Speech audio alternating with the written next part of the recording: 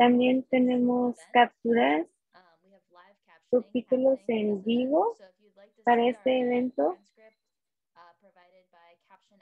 Entonces, si usted ve la transcripción en vivo, pueden hacer clic en el botón de transcripciones en vivo o también pueden seguir la transcripción eh, en el enlace que ahorita estoy poniendo en el chat. Thank you, Mary, and thank you, Bancha Lengua. Gracias, Mary. Gracias a Bancha Lengua para esta introducción. Bienvenidos a todos que están presentes el día de hoy, nuestro primer día de la Semana de Cooperativas de Trabajadores. Eh, queremos agradecerles a todos por estar aquí. Um, y antes de empezar con nuestro panel principal de oradores principales del día de hoy, vamos a empezar con algunos anuncios de la federación.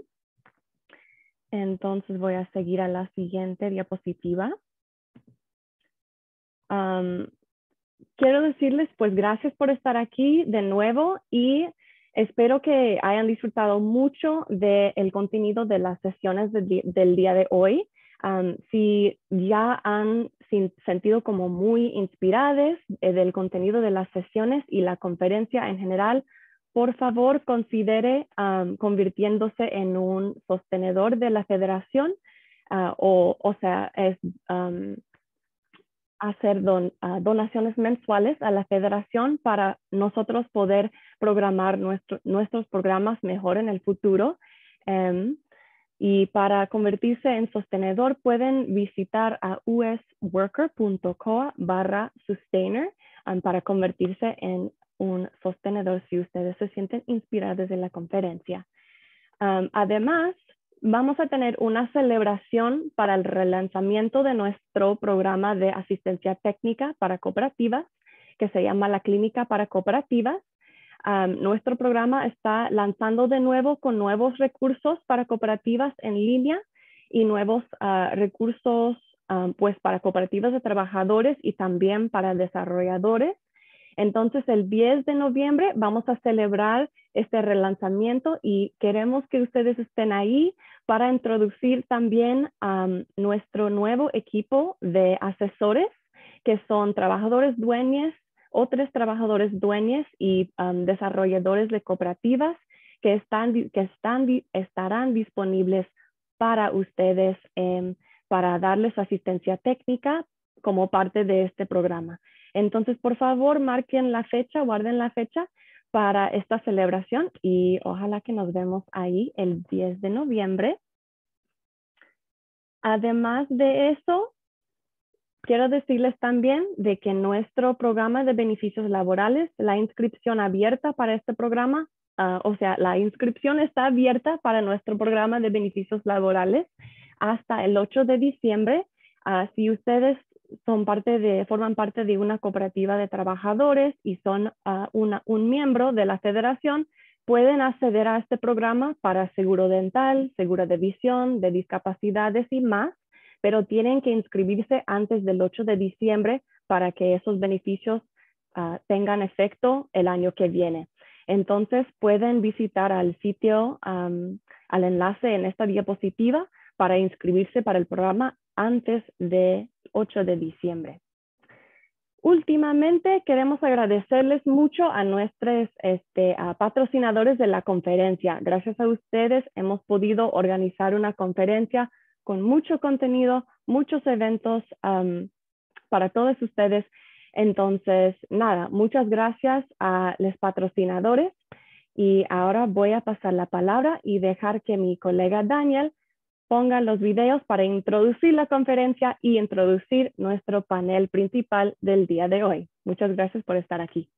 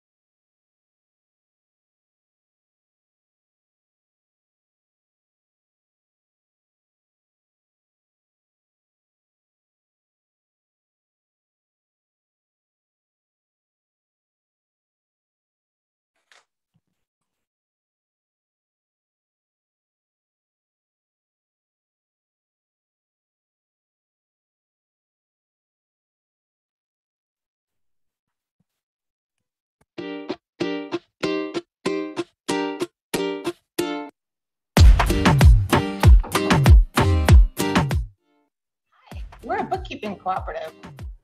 Hola, somos una cooperativa de este, contadores. Bienvenida a la semana de cooperativas de trabajadores. Trabajamos para modelar el mundo que queremos ver.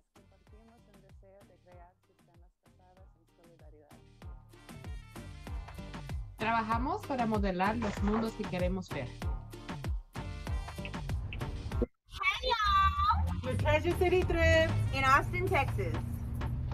Welcome to Worker Co-op. Desde Treasure City Thrift en Austin, Texas. Bienvenida a la Semana de Trabajadores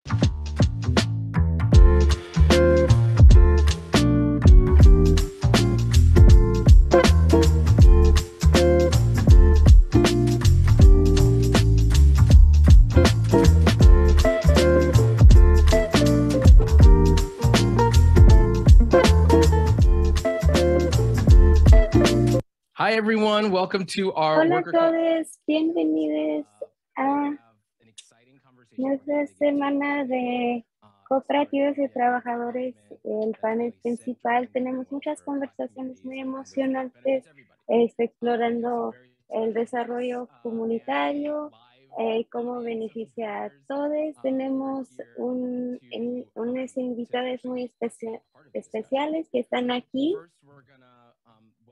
para formar parte de la discusión, primeramente queremos darle la bienvenida a nuestras invitadas muy importantes y especiales.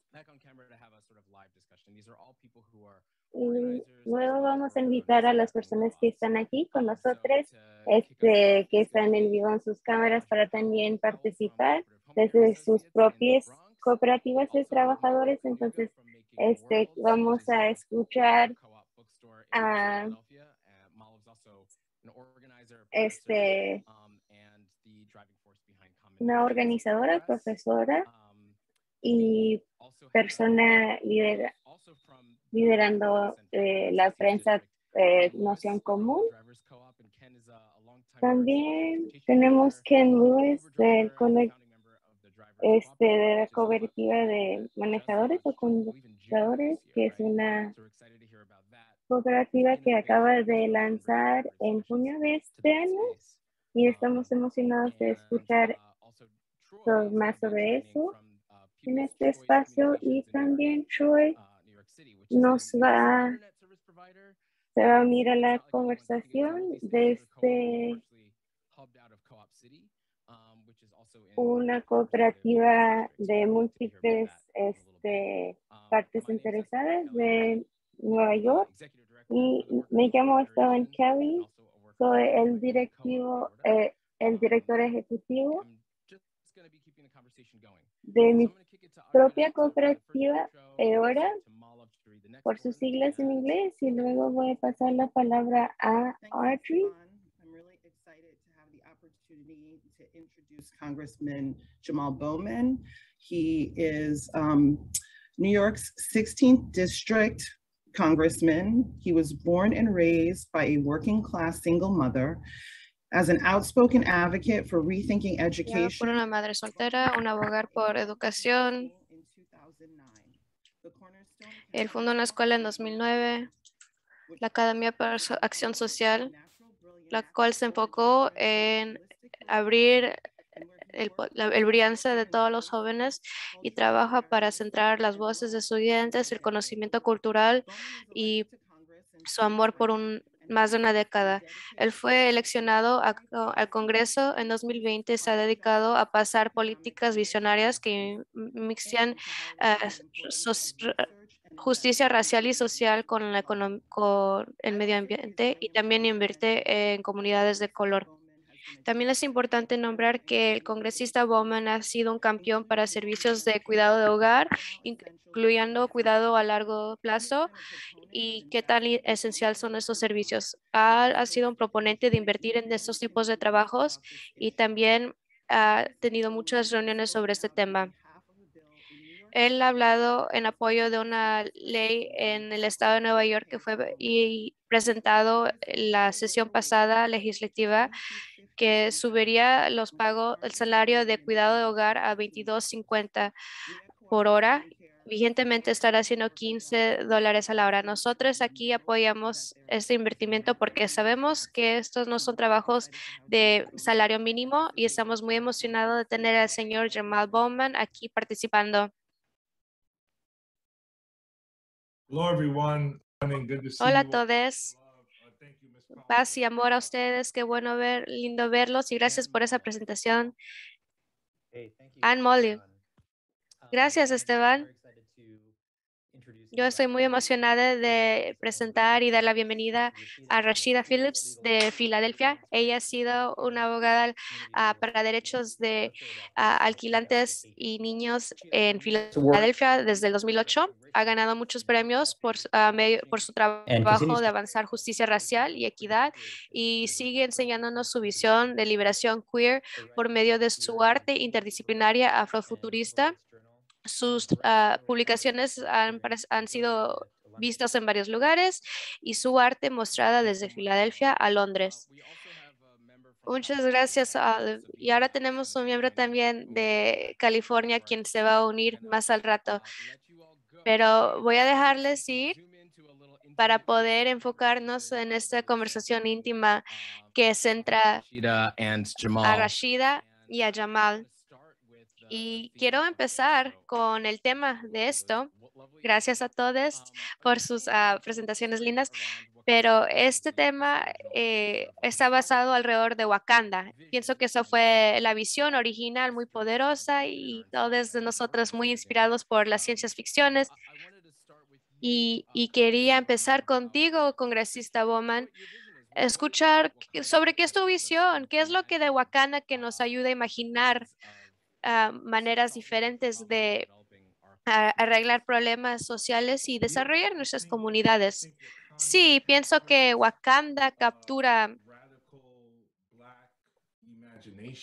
imaginaciones radicales negras, sueños radicales negros, diseño radical, diseño radical, innovación y también captura la ciudad negra que yo ah, imagino que vamos a construir muy pronto.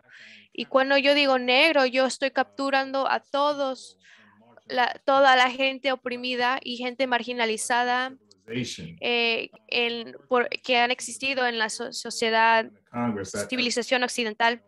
Yo he participado ah, en educación a, todos los niveles por 20 años.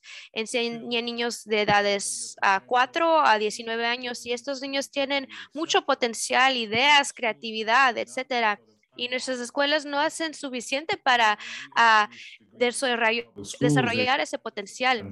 Cuando yo presenté esta ley de un trato nuevo verde en las escuelas, no es nada más de justicia de, medio ambiente, eh, asegurar que nuestras escuelas uh, tengan energía sostenible, también es para asegurar que nuestros niños estén conectados a un currículo que puede transformar sus vidas y sus comunidades, las comunidades en que viven después de que salgan de la escuela y también mientras están en la escuela.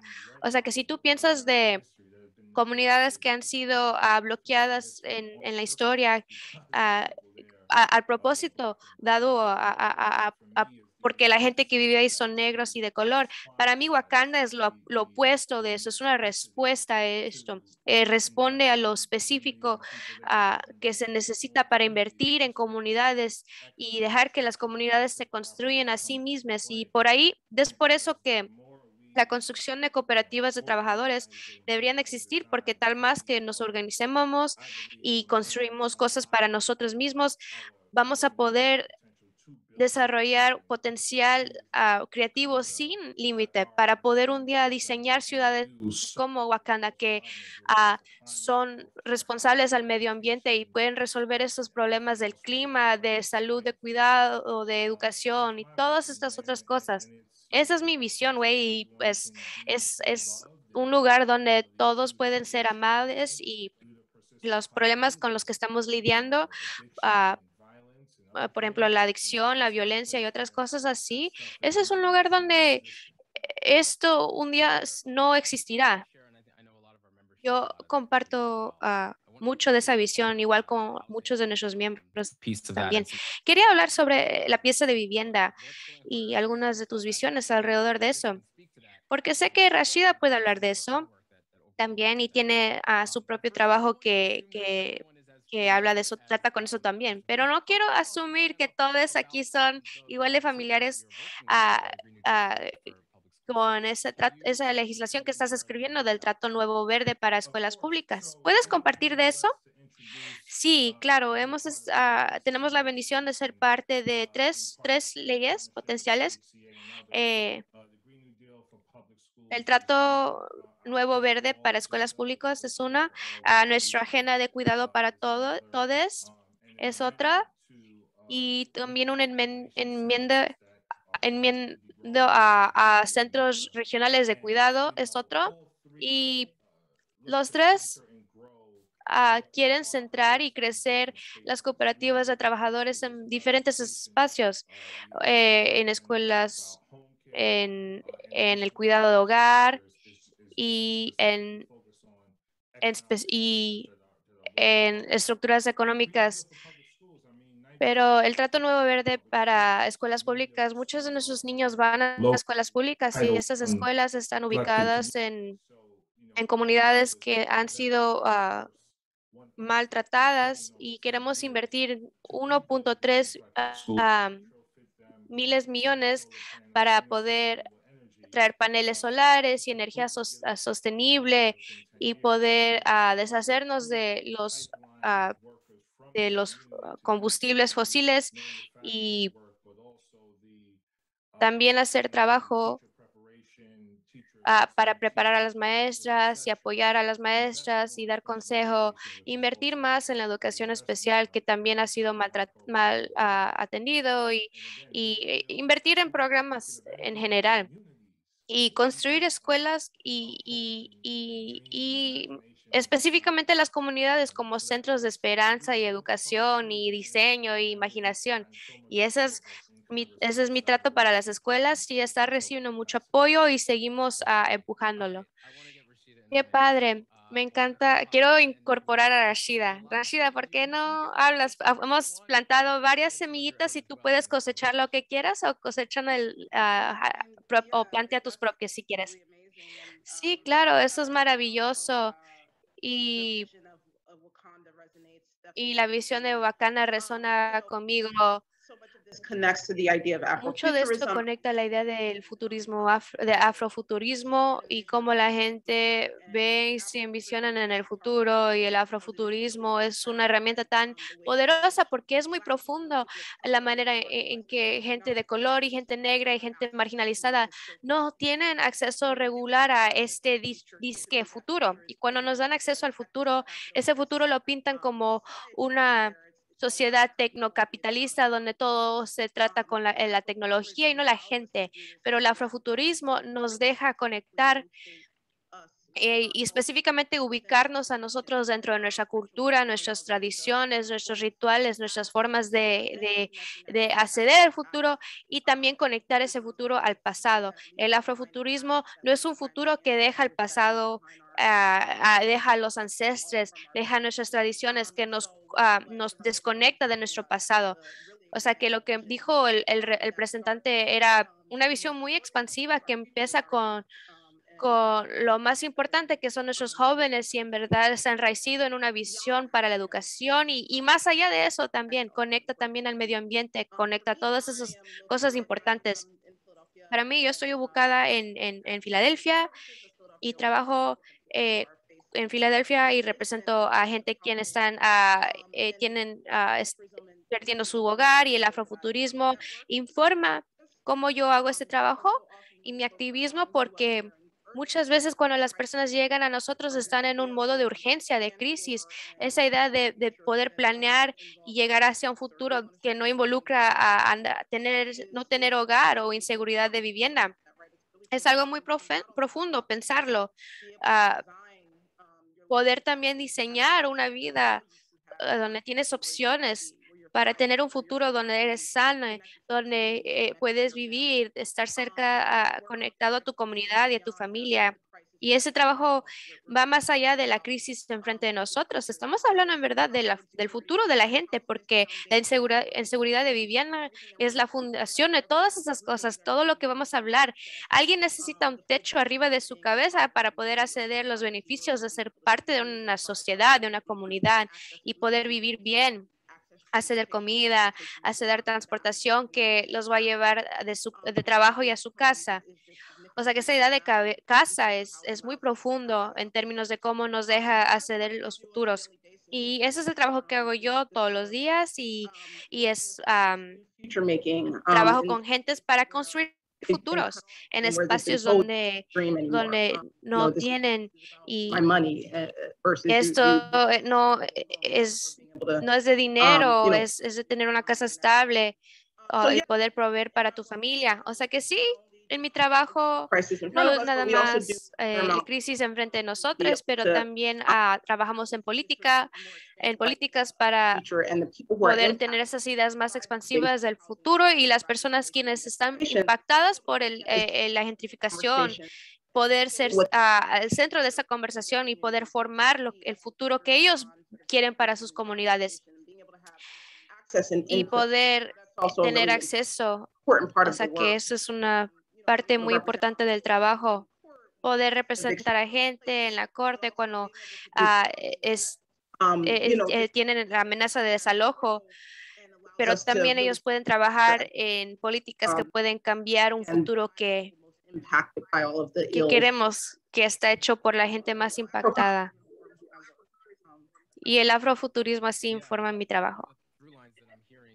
Sí, una de las cosas que estoy escuchando, sea escuela, cuidando a familias, la manera de hacerlo es un espíritu de solidaridad. No solamente estamos pensando en problemas individuales de individuos, este, pero o familias, pero está dentro de la comunidad y eso es parte, eso es parte de la visión de este, tejer eh, la democracia también dentro de eso y el cooperativismo que haces.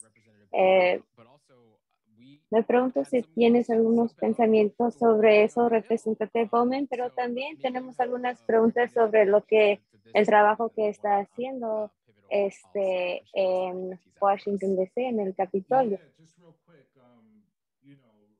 Sí, muy rápidamente, lo que mencionó Rashida, que personas este, llegan eh, eh, en crisis, viviendo constantemente en ese estado de crisis, mientras estamos haciendo ese trabajo, ese trabajo de futuro, a lo que se refiere Rashida, estamos constantemente en un proceso de sanar como individuos y como comunidad, y eso es una parte muy poderoso, muy fuerte y esencial también al trabajo que yo hago, que tratamos de hacer que sigue siendo enraizado en la sanación. Cuando trabajamos, hablamos de este, traumas intergeneracionales y sistémicos este, de opresiones, eh, antes de poder llegar a poder soñar otra vez, tenemos que llegar al proceso de la sanación este, también y es algo muy eh, poderoso que mencionó. Gracias por mencionar, Rashida, la historia también. Eh, mientras caminamos hacia el futuro, también tenemos que, a través de mi caminar personal, he tenido que aprender mucho de quién era, de dónde venía porque me quitaron tanto desde mis antepasados en este, la esclavitud transatlántica y la época colonial y luego reintroducirme a mí mismo y saber de dónde viene mi gente. Y para decir lo que dijo el poeta Nasir Jones, antes de que llegamos a este país, habían empirios en África que se, eh, donde habían libros, muchas cosas, y este, es ese conocimiento que pude este, escuchar de también otras personas como Clementina Victoria, entre otras personas que están también en nuestra historia, que nos ayudaron a lanzar más allá hacia el futuro. Y muchas gracias por hacerme la pregunta aburrida sobre mi trabajo. No es la pregunta aburrida, es pensando en nuestro poder colectivo, no solamente este, nuestro poder económico colectivo, pero también cómo podemos este, usar eso como una palanca para crear un ciclo positivo de retroalimentaciones también.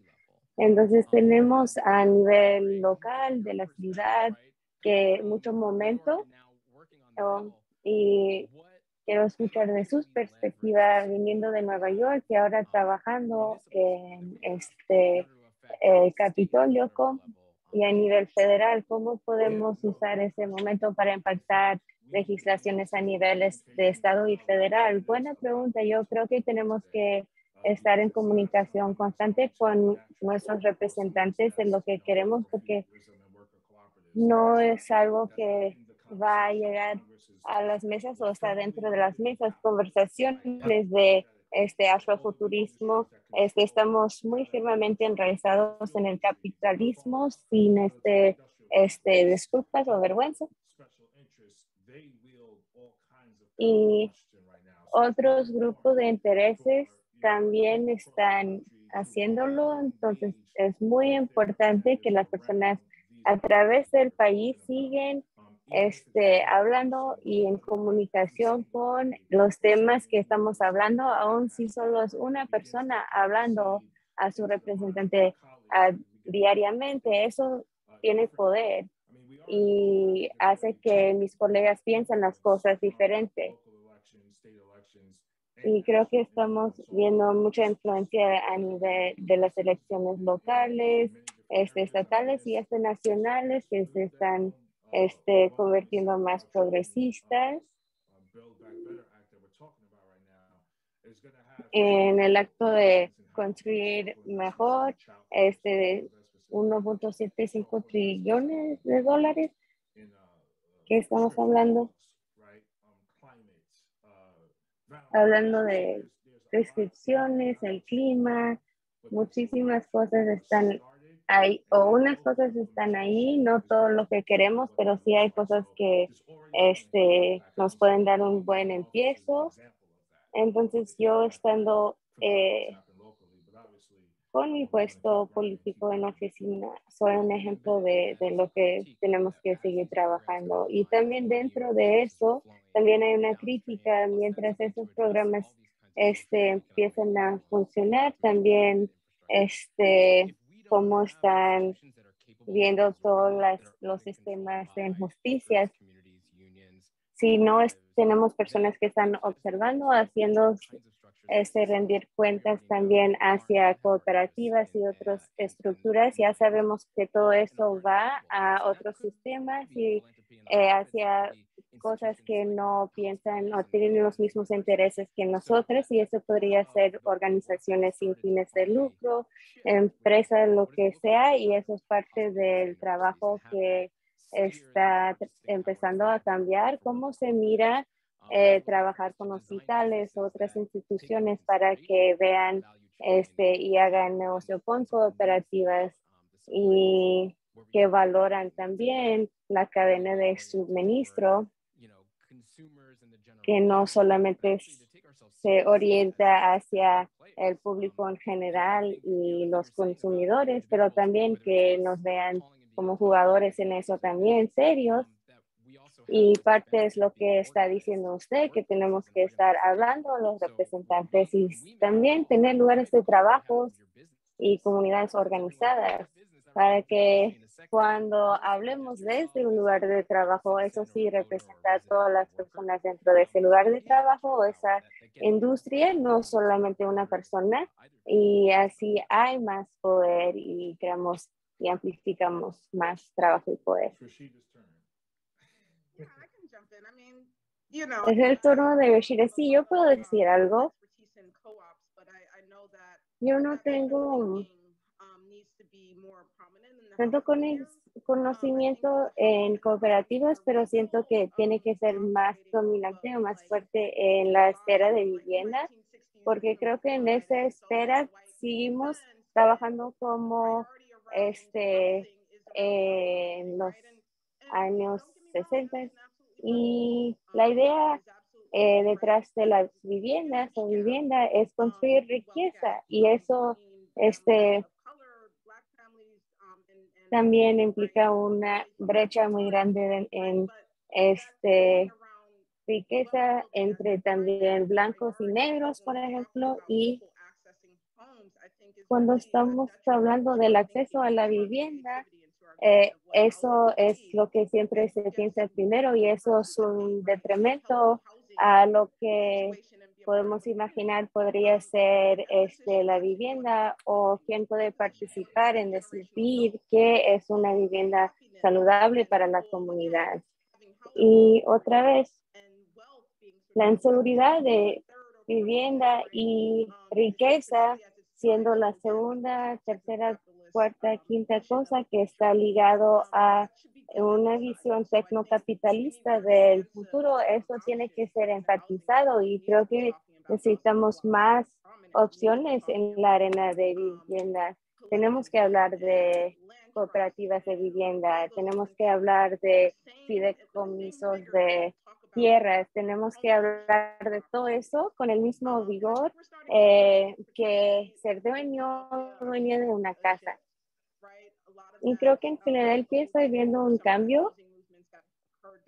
Mucho de eso es gracias a los movimientos eh, para la vivienda durante la pandemia, especialmente cuando tuvimos campamentos de personas sin casas, demandando eh, nuevo y mejor este y que la vivienda es un derecho humano y tienen que tener acceso a eso. Entonces, brevemente, yo creo que eh, eso, las cooperativas tienen que ser más presentes en las conversaciones sobre las viviendas, tienen que ser igual de importante y parte de la conversación como las otras cosas, eh, sea que estás rentando como inquiline, este, dueñe o este, en algo comunal, eh, pero no, no vamos a salir de esa crisis sin eso. Uno de estos cambios también tiene que ver de cómo eh, organizamos y primero escuché de eso desde organizadores de sindicatos y laborales y también dentro de nuestra misma organización, en los conciertos de trabajadores, estamos eh, saliendo de un estilo de organizar de los 80s, 90s, de las organizaciones fines de lucro para liderar con diferentes temas. Por ejemplo, si estamos trabajando de eh, estamos centrando las personas y esas personas necesitan acceso a transporte público, este, vivienda accesible económicamente, escuelas que funcionan, que son funcionales, que alimentan a sus niñas y este, padres, eh, personas activas también en este, la fuerza laboral, que también son personas que cuidan a personas. Entonces, ¿cómo se mira eh, un espíritu más general de este, solidaridad de aliados y ver cómo están conectados esas luchas y cómo este, se regresan a el trabajo que más directamente estamos queriendo hacer. Entonces, eh, quiero preguntar si tienen este pensamiento sobre uno de esas giras o cambios o su visión. Absolutamente. Para mí, la visión cuando Ah, o sea, pienso de los derechos humanos y nuestra humanidad colectiva. Eso es lo que viene a la mente para mí. Y cuando uh, me presenté para oficina, yo no sabía mucho de la política y todos los temas que estaban, problemas que estaban pasando en el mundo, pero yo todo lo enraicé en los derechos humanos porque para mí eh, es, de eso se trata. Cuando trabajas en escuelas públicas y trabajas con niños que vienen de ah, circunstancias ah, difíciles, cada problema político que existe va a llegar a tu va a llegar a tu oficina un día hablando de salud mental, a falta de a, falta de cuidados, cuidados, a inseguridad de vivienda, de comida, a discapacidades de aprendizaje, a justicia del medio ambiente. Los maestros y los directores de las escuelas lo ven todos los días. Entonces, cuando hablamos de los derechos de humanos y la humanidad colectiva, eh, no es nada más de un individual, es de una comunidad y en esa comunidad hay diversidad y, y en estas comunidades hay gente con una experiencia compartida de marginalización, de discriminación, de opresión en diferentes áreas. O sea que eh, construyendo coaliciones, que eso tiene que incluir un colectivo de gente que está ah, peleando por los derechos humanos en todas sus formas y unirse en, en, el Congreso y fuera del Congreso para cambiar cómo hablamos de esto y cómo hacemos las cosas.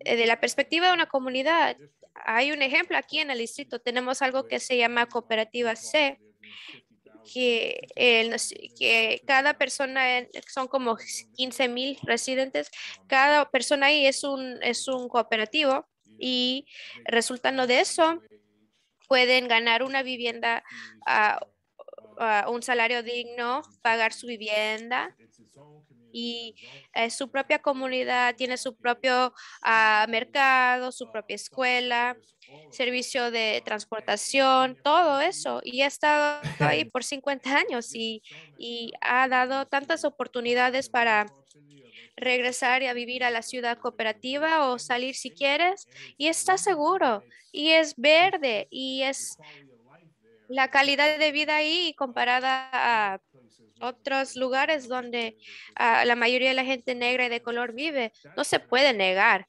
O sea que ahí es un ejemplo aquí de que se, que se puede replicar o pudiera ser replicado en otras partes del país. O sea que sí, esa coalición, porque yo pienso que nuestro trabajo transformativo ah, tiene que estar enraizado en la colaboración, en crecer poder ah, para cada uno, un poder enraizado en el amor por, por, por ah, cada uno y eso es transformativo.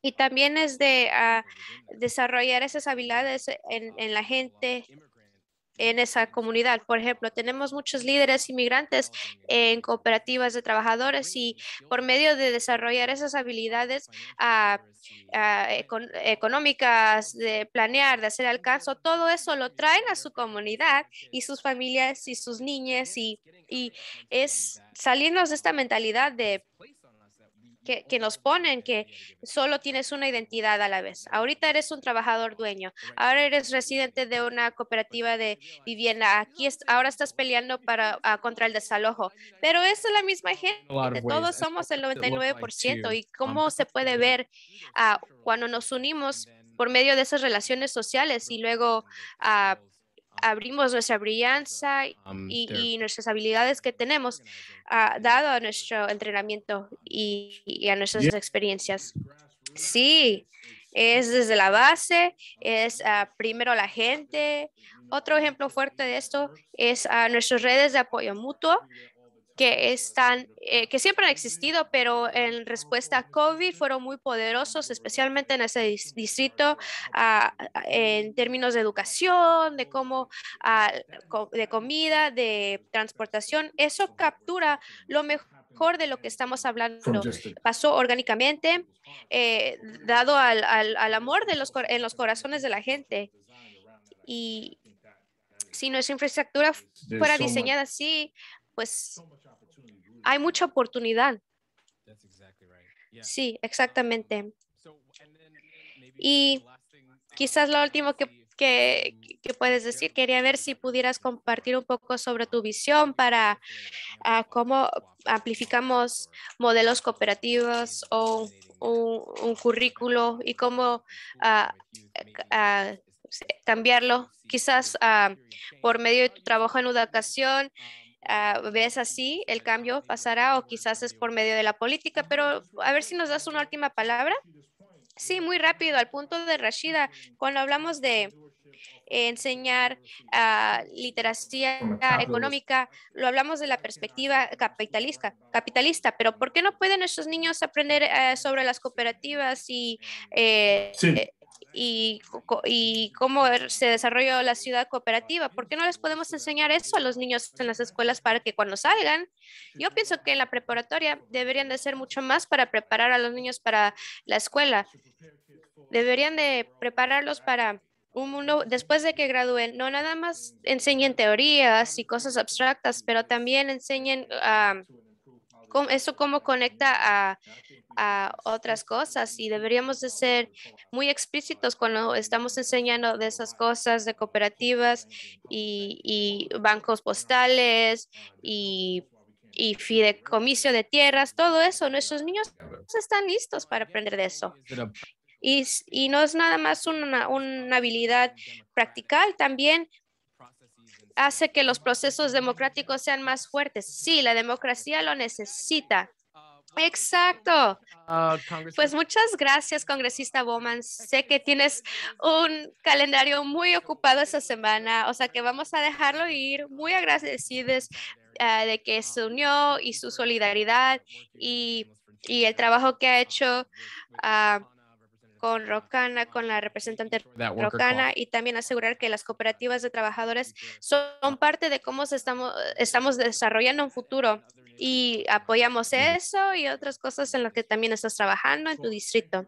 Claro, muchas gracias, muy agradecido. Nos vemos pronto. Adiós. Muy bien, Rashida, antes de ah, traer a nuestra audiencia en vivo, voy a pasar el micrófono y también a la pantalla para que nos invites a tu mundo un poquito y nos puedas platicar un poco sobre tu trabajo. Algo que quiero ah, amplificar, porque quizás salga más tarde en la conversación, es que tú apenas llegaste a los Estados Unidos después de una residencia artística en el colis- colisionador de partículas en Switzerland y pensando sobre el tiempo y es tan interesante para mí cómo es que el trabajo que tú haces une todas estas piezas.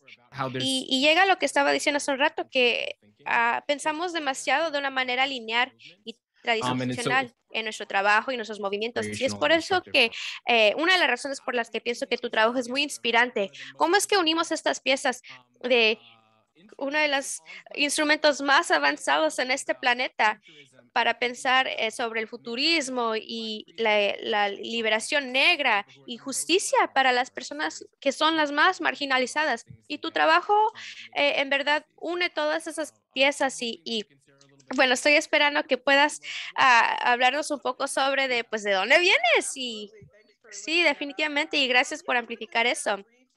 Ah, voy a compartir una presentación breve y, y quiero enfocar en uno de los proyectos que ah, mi colectivo de artistas creo que se llama ah, Futuros Comunitarios, Laboratorio de, de Futuros Comunitarios, y, y se enfoca en esta idea del tiempo. Estamos hablando del futuro y estamos hablando del tiempo, pero cuando hablamos de Think about the ways in tiempo tenemos que realizar las maneras en que la gente negra ah, eh, ah, ha sido desconectado de su tiempo, de su futuro y su pasado. Igual como estaba platicando el representante, estamos aquí tomándolo en serio, hablando de la pobreza de tiempo. Eh, no es que nada más hay pobreza espacial y desalojo espa- eh, espacial, también hay desalojo temporal y pobreza temporal. Y de esos, en eso se enfoca mi trabajo. Voy a tocar un video muy breve ah, que se enfoca en el proyecto de futuros comunitarios y, luego voy a hablar ah, de otras cosas también.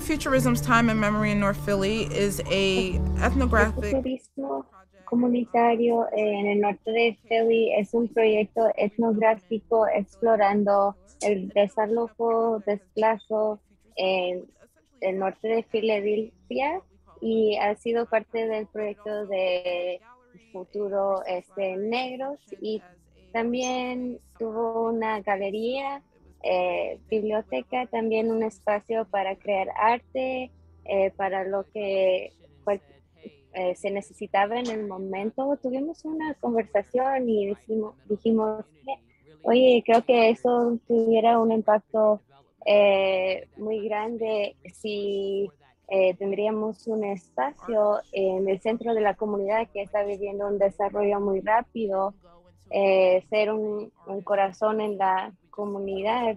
No llegamos a la comunidad para crear arte o ser artistas, solo nos conectamos con las cosas, muchas cosas que ya estaban pasando y cómo enfrentarnos a la gentrificación y la pobreza y sin usar las mismas herramientas de siempre que nos vendieron los eh, resultados de siempre. Lo que queremos trabajar hoy, pueden trabajar personas desarrollando poesías, canciones, historias, cuentos, lo que eh, están trabajando y recibir también eh, críticas constructivas de las personas, este, tener una audiencia.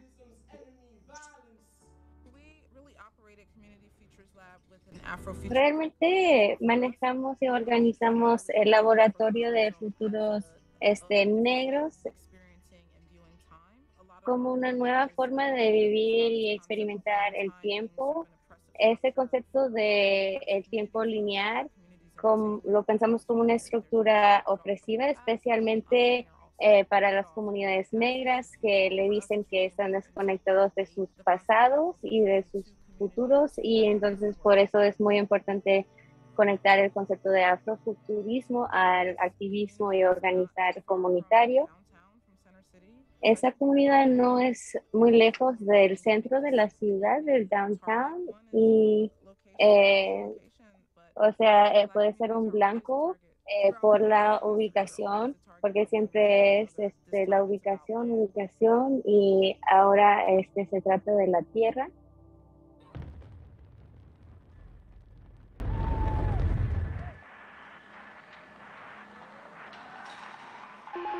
Housing is a business, you know, land. Vivienda es un negocio, la tierra es un negocio y las personas están siendo des, eh, empujados hacia afuera desde sus eh, iglesias y los barrios están viendo un aumento en condominios y es una violencia muy activa, borra la textura de las vidas de las personas y de la comunidad.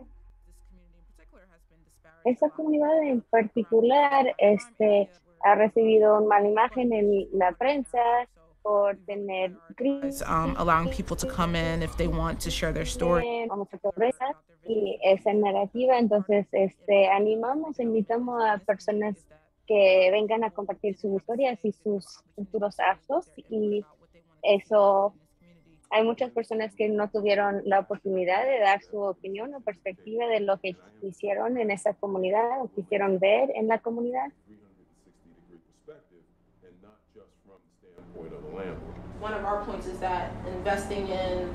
Uno de nuestros puntos es invertir en mantener a personas con vivienda a largo plazo, ahora dinero para la ciudad en otros gastos y cosas así. Hay tantas cosas que esa comunidad ha visto, ha vivido y eso es lo bello que encontramos en nuestra comunidad. No pueden sacar eso, no pueden quitar eso, no lo pueden enterrar, ¿no? ese trabajo.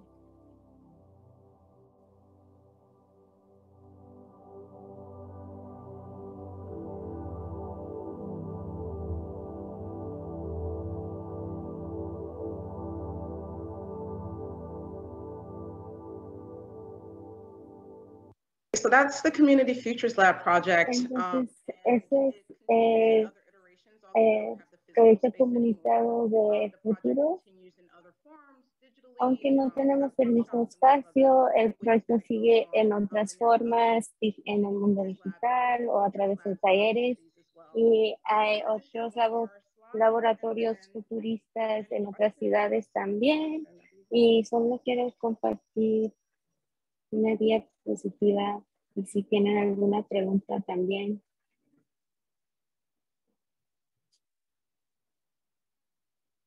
So I um, just wanted to share, sorry, I'm going to just. Yo solo quise compartir, lo siento, voy a repasar mis diapositivas.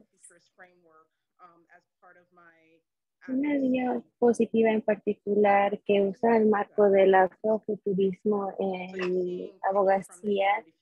Estás viendo fotos de... I, I really think about... Um, comunitario de futuro. Y yo pienso en cómo se puede usar el afrofuturismo en maneras prácticas. A veces cuando lo escuchan, personas piensan en la estética o el aspecto de ciencia ficción, que también es increíble. Y sí, tenemos que tener la habilidad de este, soñar y visionar, pero también cómo puede ser práctico, cómo puedo usar esas herramientas en mi trabajo día a día, de a nivel especulativo. Y mucho de ese trabajo este, se trata de cómo pensamos en el tiempo. Muchas veces pensamos en el tiempo como algo este, escaso, esparso y este, que no tenemos suficiente, que se va a acabar. Pero nos ayuda más a pensar en el tiempo como eh, en algo de abundancia, que no es algo fijo, que no es, que es algo creado.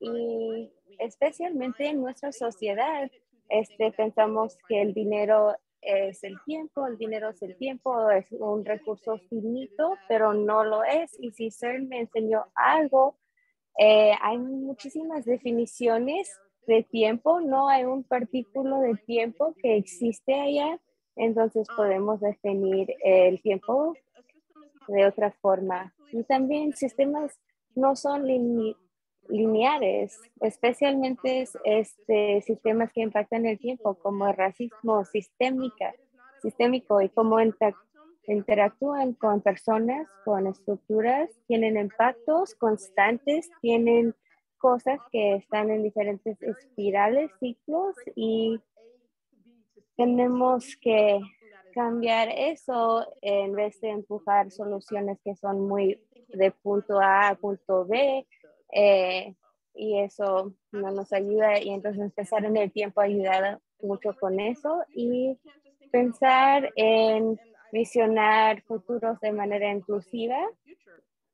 Y cuando pregunto en mis talleres, ¿cómo imaginas el futuro? Muchas veces este, está muy guiado o informado por lo que vemos en la televisión y si este, eh, usamos eso como nuestro guía, eso no va a incluir a todas las personas, no va, a incluir a personas eh, con diferentes este, capacidades, discapacidades o personas de todas edades. Y entonces tenemos que cuidarnos de eso y eh, asegurarnos que este, vemos a todas las personas en nuestros futuros, personas que están en sillas de ruedas, que personas de color, entonces todo eso tiene que cambiar, ¿verdad?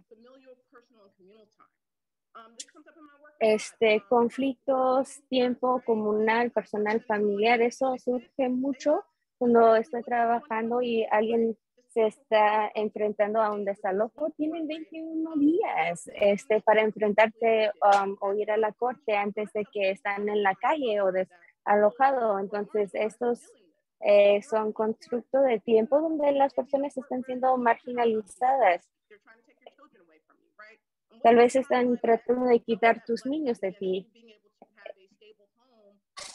¿Cómo ese concepto de tiempo eh, te ayuda o no a tener un hogar estable? Y ese tipo de microagresiones también pasa, o eso pasa, esas ocasiones también pasan a nivel micro si tienes que llevar a tus hijos a la escuela y tienes eh, tu corte a las 8.05 en la mañana y tienes que llevar a tus hijos hasta las ocho y media, pero si no estás ahí, te van a desalojar. Entonces, esos son conflictos que surgen dentro de nuestro sistema y tenemos que ver eso y diseñar soluciones que rompen con estas construcciones de tiempo porque son igual de importantes como los espaciales. Y también el tiempo y cómo se relaciona con la cultura de supremacía blanca. Cómo es, está relacionado a cómo las personas pueden luchar por las políticas y las soluciones que necesitamos. Cuando nos sentamos y eh, buscamos una estrategia de cambiar las cosas, tienes que poder mirar también hacia el futuro y decir, este, tenemos que también usar eso o usar esa palanca para este, poder solucionar eso por los impactos políticos, sociales, económicos en nuestra comunidad. Y no podemos también ver la, el futuro como algo fijo, más como abierto con posibilidades. Entonces tenemos que poder ver las posibilidades o el futuro a través de las posibilidades y también el pasado y tampoco puede ser fijo porque cuando vemos el pasado como algo fijo, cuando vemos este, documentos o récords o archivos que nos dice esto es el pasado, eso deja fuera muchas personas marginalizadas, eh, eh, personas con esas evicciones, por ejemplo, los documentos de evicciones, de desalojos, este, entonces, ¿qué dice, quién nos dice eso sobre esas personas? Entonces, este, eh, ¿qué información nos da eso? Y eso determina, ¿verdad?, los futuros y uno este, puede recibir ciertas cosas. Entonces tenemos que buscar posibilidades y soluciones que este, vean el pasado de otra forma y nos llevan a otro futuro y no nos encajen en lo mismo. Gracias.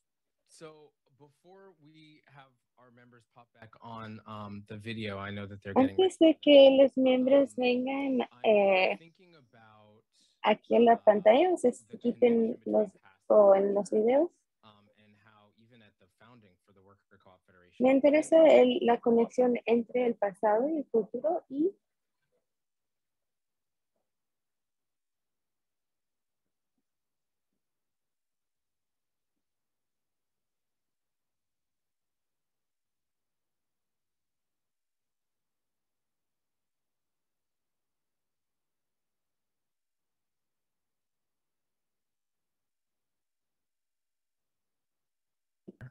Um, and how even at the founding for the Worker y como uh, cuando se fundó la federación era muy importante so much leadership from folks of color, uh, tener el liderazgo de gente de color. In fact, we y people into de hecho leadership hasta uh, pusimos a personas en posición de líderes en esos días tempranos porque sabíamos que nuestro futuro iba a contener mucho más um, muchos más trabajadores dueños en comunidades de color y teníamos que, que tener ese valor en principal y, y, incorporarlo en nuestro proceso democrático que teníamos en estos momentos. Y ahora aquí, 17 años después, eh, tenemos líderes negros, tenemos líderes inmigrantes uh, que son partes de la Junta de la mesa directiva. Nuestra universidad es muy diversa y muy hermosa y, y también aún hay un lugar para nuestros co uh, compañeros uh, blanques que son trabajadores dueños en este espacio y que también están uh, trabajando en la democracia tra trabajadores.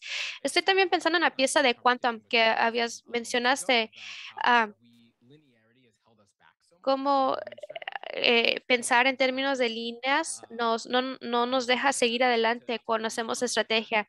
Hasta que te voy a preguntar que desempaques no la teoría cuántico, cuántica, pero que uh, pero sí quiero asegurar que los participantes entiendan qué es lo que dices cuando estamos hablando de esta idea de en vez de una manera para seguir adelante que hay uh, existencias simultáneas y cómo pensando lateralmente y, y tener una diversidad de tácticas así piensan muchos de nuestros movimientos. Eso puede ser muy importante para cómo organizamos ahora y para formar un futuro preferido, donde, por ejemplo, si hay, donde, por ejemplo, hay vida negra, donde hay inmigrantes poderosos, donde podemos vivir vidas sanas y sostenibles. O sea que vamos a empezar con eso rápidamente, desempacar. ¿Qué es quantum? ¿Qué es teoría cuántica o física, o física y cómo informa esa nuestra estrategia? Y luego vamos a invitar a personas que están haciendo, ah, que están organizándose a nivel local, ah, van a tener sus propias preguntas y reacciones para ti y lo que acabas de compartir y, eh, y la conversación. Claro. Claro, teoría cuántica en 30 segundos. Ok. Bueno, básicamente la física cuántica es la física de ver cosas pequeñas, mirar a los partículos, observar a los partículos, a cómo las cosas al nivel microscópico interaccionan y es diferente de cómo la ciencia se, se enfoca o mide cosas que son grandes, cómo mide los planetas, las estrellas, cosas así, en comparación a cómo observa las piezas pequeñitas que hacen esas cosas grandes. O sea que cuando estás viendo las piececitas pequeñas, las cosas se ven diferentes y las cosas se comportan diferente. Por ejemplo, a nivel grande, en nuestra realidad de todos los días, medimos el tiempo de una manera muy lineal. Hay, hay, hay, una flecha que te mueve, que mueve el tiempo hacia una dirección, ¿verdad? Del pasado al futuro pero cuando miras a los partículos cuánticos, eso lo deshace todo. Un partículo cuántico puede moverse para adelante y para atrás, puede hacer cosas que cosas grandes no pueden hacer. Entonces, eso ayuda a ese metáforo, esos principios de cómo podemos usar esos términos de cómo se mueve el pequeño e interacciona, nos ayuda a entender cómo lo grande opera.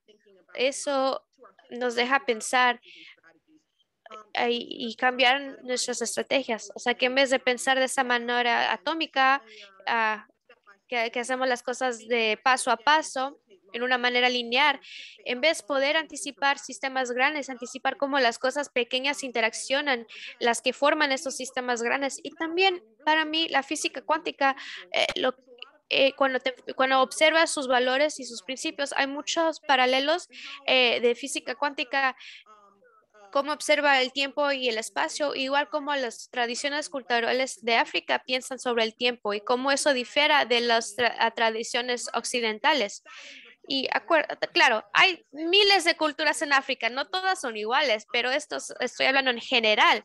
Pero cuando estamos hablando de ah, formas afrodiaspóricas de pensar sobre el tiempo, el tiempo puede ir hacia adelante y hacia atrás. El pasado está contigo, el pasado es un, ley, un layer que está eh, eh, con el, con el presente. Y también conceptos de eh, en, las culturas indígenas, que el tiempo es un ciclo, que el tiempo es como el órbito de alrededor de nuestro mundo, no es un, no es un viaje de 1901 a 2 a 3. Que, no, hay ese sentido de que es, que es un ciclo de como las temporadas, ¿verdad? Y hasta el ciclo de la vida, no es una línea, y luego te desapareces, ¿verdad? Claro, exacto. Pero eso ha sido tan lindo. Siento que pudiera continuar hablando contigo, pero me gustaría invitar a nuestros miembros para platicar, uh, incluyendo a Sabija Bustra, que no pudimos presentar, presentar hace un rato, que es un ah, fundador de ah, una colectiva en California de trabajadores artistas. También tenemos a Ken, a Lala, Batroy, Sí, sí, sí, sí, sí. Entren, pásenle. Y, y Audrey va a regresar también. Muy bien. Y ah, bueno, eso es lo que podemos hacer. Quizás tengan preguntas para Rashida, pero también quiero escuchar a, de cada uno de ustedes y sus trabajadores, sus trabajos locales antes de empezar. Y, y después y, o sea, que nos digan, díganos un poco de dónde están basados, el trabajo que hacen, ah, si son parte de una cooperativa que empezaron o están apoyando a seguir adelante, o movimientos uh, sociales, organiza, uh, organizamiento comunitario, justicia, todas esas cosas que hacen, que hacen. Están aquí porque yo sé del trabajo que hacen ustedes, pero no todos que están aquí saben. O sea que por favor comparten un poco sobre eso y, quizás lo pueden conectar un poquito a esas conversaciones que estamos teniendo sobre eh, cómo hacer cambios grandes, sistémicos y ambicionar el tipo de futuro y comunidad que queremos crear. Yo voy a sugerir que empecemos con, vamos de una a la otra, vamos a empezar con Malab, y luego Sabija, y luego Ken, y luego Audria, y luego Troy. ¿Se suena bien? Muy bien, dale. Pues gracias. Wow, esto fue una conversación tan rica y increíble eh, en la que estoy parte y puedo participar. O sea que muchas gracias Rashida y representante Bowman y Esteban y todos que están organizando esto. Voy a decir muy brevemente, estoy en Filadelfia, en mi tienda de libros cooperativa que se llama Construyendo Mundos y también soy parte de una casa de publicaciones de libros que se llama Publications y esos dos proyectos eh, lidian con esas cuestiones que Rashida y el representante Bowman y Esteban ustedes han, han mencionado. ¿Qué es lo que hacemos para enriquecer a nuestro sentido, nuestra imaginación colectiva, nuestro poder colectivo? Esta tienda de libros está eh, enraizada en una visión compartida que, que, tú compartiste, Rashida, con nosotros sobre eh, los, uh, el laboratorio de futuros comunitarios, que necesitamos espacios en todos los vecindarios donde podemos aprender de uno mismo de, y, y, conectar esa pregunta que tú y el representante Bowman hicieron del sanamiento. Y por medio de eso, el poder colectivo también. O sea, que construyendo mundos es uh, sobre este proyecto, es un proyecto de hacer espacio uh, espacios de imaginación y me gustó mucho cómo se está uh, enfocando en el tiempo, en la cuestión de tiempo y historias, porque pienso que eso es muy importante y es una parte muy importante de nuestra imaginación. Y hay muchas lecciones que vienen de ciclos de organizamiento y de construir movimientos y, y para nosotros que hemos sido parte de estos espacios, aún tenemos mucho que aprender y, y hay, hay una calidad enorme um, educativa lo que estamos tratando de hacer aquí en esta tienda de libros y nuestro programa de nociones comunes de publicación, eh, nuestro programa de publicaciones se enfoca en lo mismo. Tratamos de hacernos hacia atrás y pensar en esos mismos problemas, cómo ¿Qué tipos de formas de organización podemos hacer y, conectar con otros para crecer poder para cada uno? Es una forma muy importante de formular esto y construir poder para ti y para mí. Y hay más que puedo decir, pero uh, tengo muchas más preguntas que hacer y, y quiero escuchar de les demás que están aquí. O sea que se lo paso a Sabija. Gracias, Sara. Gracias a todos por todas las conversaciones. Me llamo Sabija, mis pronombres son ella.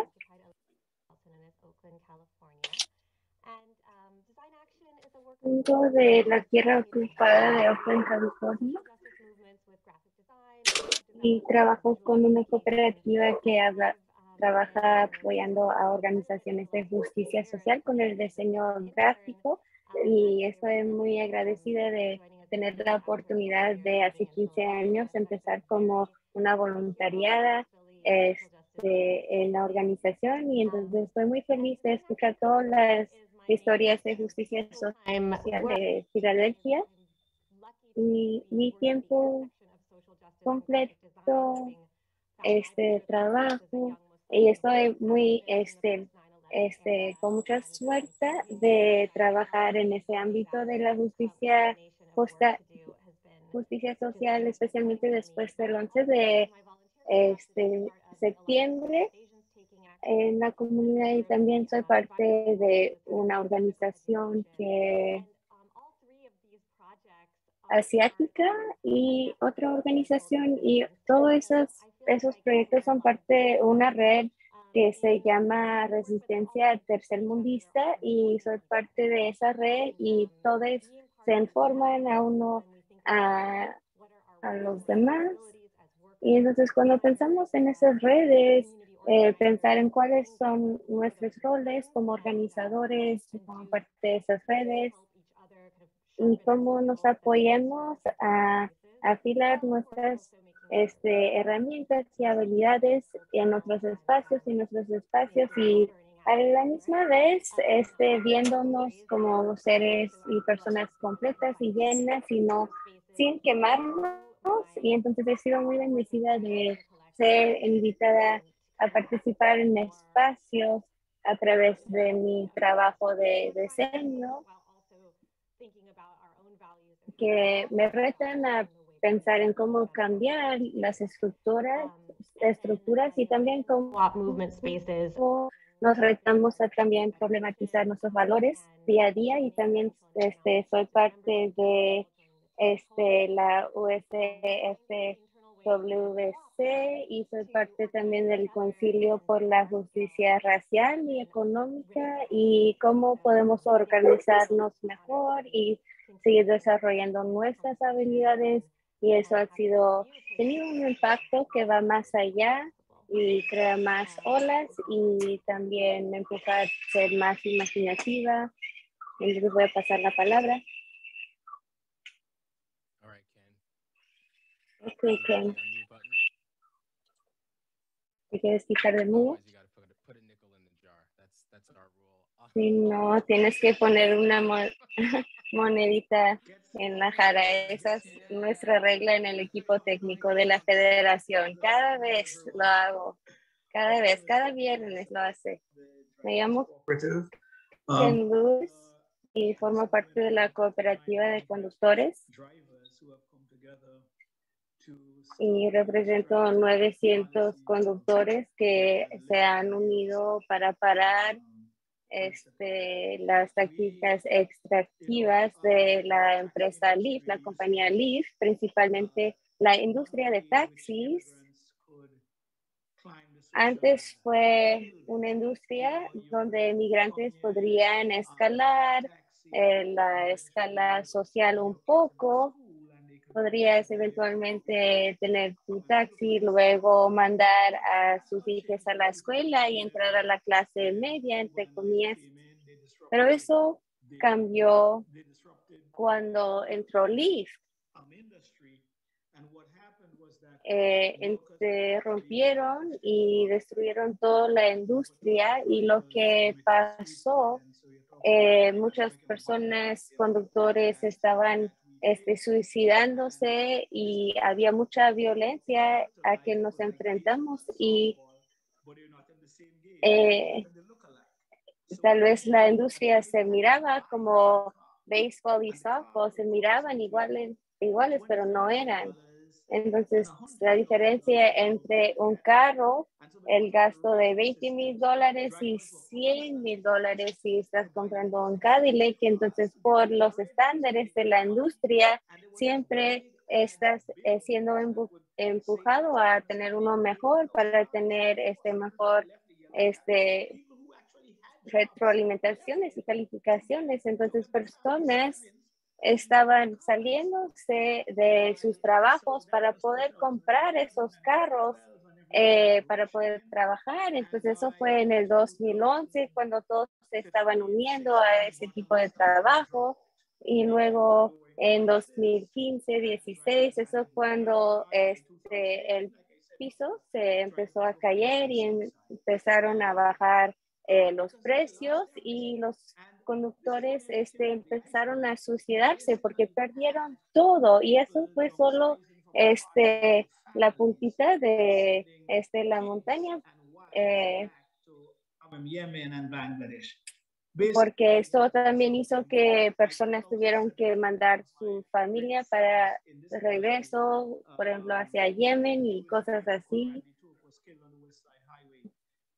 un conductor también judeo que también lo chocaron en una carretera y murió y luego empecé a hablar con otras personas y luego pegó, llegó la pandemia y luego estábamos siempre en comunicación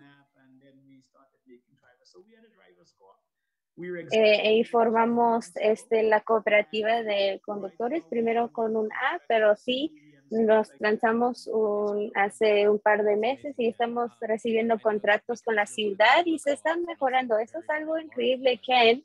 Yo sé que formas parte de una cooperativa y uno muy, muy grande. Pues es importante que este, nuestros miembros tuvieron la oportunidad de escuchar de ustedes. Han, hemos estado apoyando a su campaña. Sé que personas han apoyado este, a invertir en su cooperativa. Sí, gracias, muchas gracias. Y veo a Adria y Troy aquí y ver nuestra primera cooperativa aliado en nuestra cooperativa o en una aplicación. Entonces, quiero decir muchísimas gracias a Adrián. Eso tiene mucho sentido. Este, Ken, ¿de cuál isla vienes? ¿Eres de Jamaica?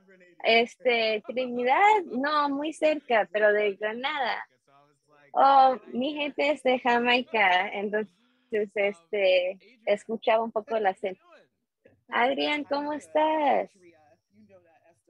Adria. Adria. Tú, tú me conoces, Adria. Yo estoy muy feliz de estar aquí también y vengo desde el sur de Bronx, donde este, se hace este, la cooperativa de cuidado de domicilio es una cooperativa de entrenamiento y de empleo esencialmente. Eh, una cooperativa donde todos los trabajadores son dueños y entrenamos a trabajadores este, domésticos o de cuidado, cuidado. Y hemos tratado de crear este, trabajos de calidad y buenos para trabajadores este, domésticos porque eso, esos trabajos han sido trabajos explotativos donde devaloran a las personas y hay muchas prácticas extractivas en el cuidado de hogar. Entonces las personas que realmente están haciendo el trabajo no están sacando un beneficio de su trabajo y DC son las personas que están quitando todo el dinero de nuestras comunidades desde las manos de los trabajadores y los bolsillos también. Y continuamos a trabajar para este, avanzar el reconocimiento para esos, esos trabajos y mejorar los beneficios y salarios y este, reconocer eh, la naturaleza esencial, que son trabajos esenciales lo que realmente hemos estado trabajando el último año, año y medio, es sobre promover los salarios de trabajadores en esta industria y estamos este, viendo más apoyo y momentos de otras personas con intereses este, en el cuidado de hogar. Y muchos trabajos son pagados al salario mínimo y no son trabajos que se deben pagar eh, al salario mínimo, porque la experiencia que los trabajadores de cuidado de hogar tienen para asegurar que las personas pueden vivir bien y sentirse bien con discapacidades, este, entre otras cosas, es muy importante y son servicios importantes. Y a nivel estatal hemos estado trabajando para promover una propuesta de ley para subir el salario mínimo de nuestro salario, eh, salario mínimo de 15 dólares a 22 dólares la hora para que esos trabajos sean compensados de la manera adecuada. Y la razón por la cual pagan esos trabajos a esos salarios este, bajos y no vean que es un trabajo este, em, que requiere de habilidades es por las personas que lo hacen, eh, mujeres de color, mujeres migrantes, migrantes, y entonces tenemos que empujar en contra de esa es, eh, eso. Tuvimos un momento cuando empezó la, justo después de que empezó la pandemia, donde las personas entendieron qué tan crítico fue poder recibir esos servicios Our communities are disproportionately en su casa porque perdimos 15 mil personas que murieron en este um, lugares donde cuidan a, a las personas. Entonces las personas se dieron cuenta y como nación nos dimos cuenta que tenemos que invertir en esos trabajos. Y durante COVID es cuando empezamos a crear una alianza con la cooperativa de conductores también, porque este, y dijimos, vamos a buscar la manera porque hay trabajadores este, de cuidado de hogar que este, también se estaban enfrentando a muchos riesgos con el transporte, entonces lo vimos como una oportunidad este, unirnos con otra cooperativa que se estaba lanzando, pero también un beneficio para nuestros trabajadores. Y así es, ¿verdad? Como lo hacemos y eh, también es porque también cooperativas a veces son más este, exitosas que negocios. negocios. right? Um, who I think you've been on strike, like one of the longest strikes. It was striking workers. Here we are on the heels of Striketober. So tell us a little bit about that story. en huelga, una de las huelgas más largas que estamos al final o terminando con octubre de huelga y qué están haciendo para cerrar la brecha entre pues digital en, eh, en Bronx, Nueva York. Gracias, Esteban, y gracias por invitarme a este panel. Bienvenida. Eh, mi historia empezó, uh, trabajamos por una compañía de cable. Yo soy un miembro de un sindicato uh, local que construyó uh, el sistema de cables en la ciudad de Nueva York. Y no fue hasta 2016 que Spectrum se tomó cargo y las cosas empezaron a cambiar, se hicieron más, se enfocaron más en hacer dinero y pues eh, atacaron los ah, esfuerzos de sindicatos que estaban en lugar. Y en 2017 ellos ah, dijeron que el contrato se había terminado y nos dijeron que no querían darnos uh, beneficios médicos o de retirar, que estaban atacando nuestros derechos de trabajadores, o sea que tuvimos que hacer huelga y después de la huelga realizamos que no eran como huelgas normales cuando se sientan a, hacer, a, hacer negocios y realizamos que íbamos a tener que hacer algo diferente. O sea que nuestra primera idea fue el sindicato está trabajando en el lado político y manejando la huelga. Nosotros queremos atacar de otro lado. Vamos a ver si la ciudad se quiere ser dueño del sistema de cable. Hicimos un plan como uh, huelguistas y, y, presentamos un plan a la ciudad y y así los, los ah, clientes van a poder uh, eleccionar a quienes los va a representar y no. Y después de eso, la ciudad dijo que no y después de eso nosotros hicimos otro plan. Dijimos, nosotros fuimos los que construimos el sistema de cable. ¿Por qué nosotros no nos unimos con los clientes y nos hacemos los dueños del sistema? Y así fue como me metí a una cooperativa. Yo no sabía lo que era una cooperativa, sino que yo lo construí por necesidad. Y, es, y así que formamos a comunicaciones de gente primero, donde los dueños y los trabajadores pueden ser dueños del sistema y también podemos involucrar a, los, a, las organizaciones comunitarias para dar otro nivel de poder para que este sistema pueda hacer cambio económico y social en las mismas comunidades uh, que trabajamos.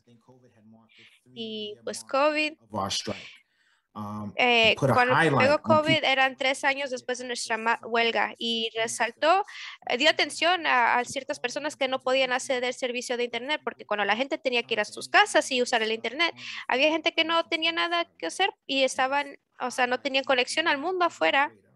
Y esto hizo que la necesidad se haga más fuerte y nosotros nos pudimos hacer, a colaborar.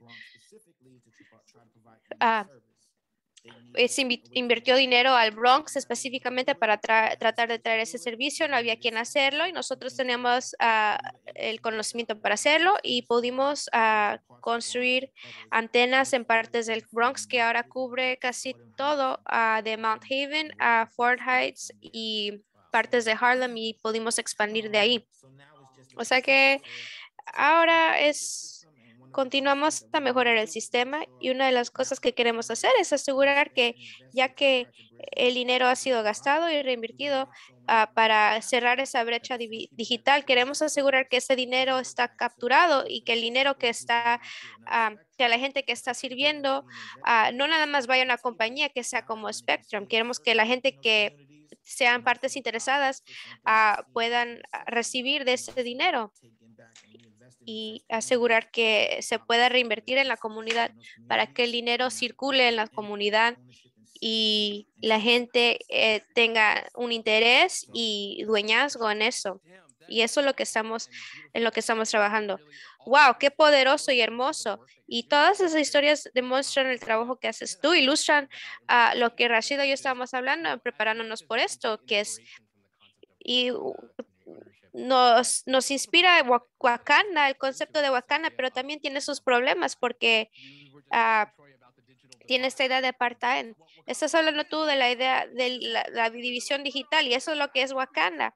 Es un país donde, es- donde nosotros somos tecnologistas y en el futuro, pero no tú.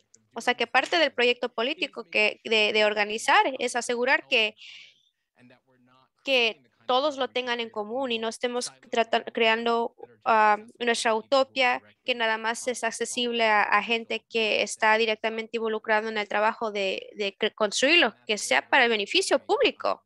Y ese es el trabajo que estamos haciendo con cooperativas de trabajadores, que sí son negocios privados, pero eh, están hechos para traer beneficios al a la comunitaria más grande, a la comunidad más grande. Tenemos tiempo para pensamientos o reflexiones que quizás ustedes tengan para Rashida o para us- otros. Y voy a hacerme al lado y dejarles que se quiten de mudo y, y interaccionen. I just really want to thank you, Rashida. um, for Yo quiero agradecerte, Rashida, por compartir y explicar a las diapositivas de algo que fue muy poderoso y muy profundo para mí y me está dando, haciendo pensar mucho mientras estamos en el espacio ah, alrededor de cambiar la trayectoria de estos trabajos, esta especie de, pedazo de, de lo cuántico y pensando al nivel micro, micro y cómo diferentes partículas interaccionan en diferentes niveles y cómo eso nos puede ayudar a mover ah, de un pasado lineal que hemos tenido. O sea que me diste mucha comida para pensar y quería reconocer y agradecértelo. Muchas gracias igual. Fue maravilloso escuchar todo el trabajo que están haciendo ustedes y, y eso es eh, lo que yo me quiero enraizar y gracias. Y Rashida, una de las cosas que, que estamos realizando es que cómo, def- es cómo defines eh, lograr, ¿verdad? Tienes esta manera... ah, Tuvimos esta plática en otro cuarto con conductores y les preguntamos, ¿cómo defines tú el éxito? Y yo y Eric estábamos callados por un momento porque sí tenemos respuestas, pero un conductor dijo, pues hay, y aquí hay éxito porque yo refinancé mi carro de a 1.900 dólares a 4.600 y una semana y, una- y un mes después nos mandó una foto de su boda en Ghana y él me explicó que él no pudiera él no podía tomar vacaciones cuando estaba pagando ah, cuando le estaba pagando 1900 o sea que sí hay valor en las cooperativas y en redefinirnos a nosotros como gente negra de, de color inmigrante me gusta eso también que It, it porque takes back the narrative. It, it makes us Porque protagonists in reclaiming how we define nos hace protagonistas en reclamar cómo definimos el éxito. Y eso es parte del problema Profit de programas de gobernantes previos y organizaciones sin fines de, de- de lucro. ¿Qué son los métricos? ¿Qué es lo que se puede entregar? Pero cuando eres it- trabajador dueño, nosotros podemos definir qué es, cómo se ve el éxito. Y no está basado en algo que escribimos en un plan estratégico, pero podemos sentarnos en un cuarto y decir, no sé, ¿te sientes como que tu vida ha sido, ha mejorado? Vamos a escuchar esas historias porque eso es lo que importa. Y si la respuesta no es sí, entonces eso guía nuestra estrategia. is that ¿Qué es lo que tenemos que hacer? Es- tiene que ser con el salario, con Eh, beneficios, cuidado de niñez, ah, deuda, servicios de deuda. ¿Qué es lo que está haciendo que, por, pues, por qué estamos tan cansados? ¿Qué tiene que cambiar? Y, y cómo podemos, eh, cómo podemos ah, aprovechar de nuestro, nuestro capital y lo que tenemos en común para mejorar nuestras vidas.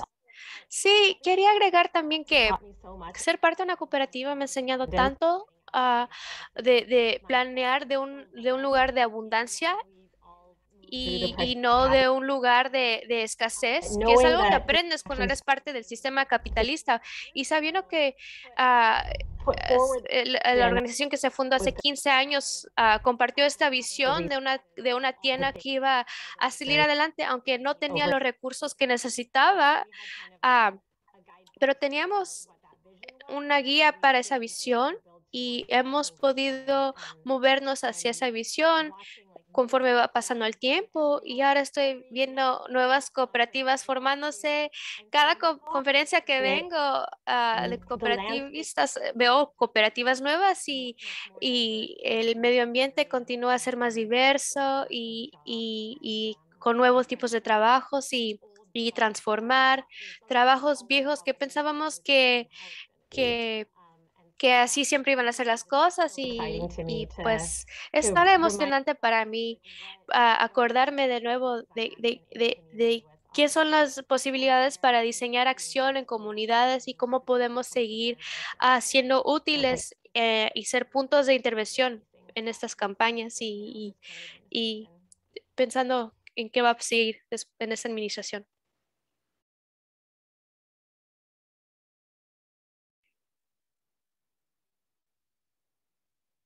Olive, how you doing? What are some of the thoughts that are coming up for you in Hola, ¿cómo estás? ¿Qué son unos pensamientos que están surgiendo para ti en esta conversación? Pues yo me siento muy agradecida porque hay un aspecto diario, día a día de todo el trabajo que estamos haciendo y sentir ese peso en nuestros hombres, hombros. Y creo que es muy importante tener una colectiva, una cooperativa para poder este, trabajar eso y liderar con estas presiones que vas a este, experimentar en ese trabajo, pero es algo muy espiritual poder honrar nuestras experiencias y sus experiencias y es algo muy profundo que este, surge para mí en esa conversación. ¿Qué tanta inteligencia tenemos colectivamente? Lo hemos escuchado de la presentación de Rashida, el poder de esos sueños li- liberatorios, todo eso ya está aquí dentro de nuestras relaciones este, y aprendiendo de cómo hacer eso a una escala más grande eh, va a requerir de otro nivel de organización, pero al fondo empieza con nosotros y cómo cuidamos a este, nosotros eh, y es algo muy importante para mí mencionar y traer a, a superficie. Aprender de retos muy serios que estamos viviendo en esa economía y en el contexto de la pandemia. También pensando mucho en la coyuntura en que nos encontramos ahora mismo y qué significa organizar juntos. Este, aprendo mucho de ustedes, hablando con ustedes, este, pensando en esas preguntas organizativas en una manera relacional.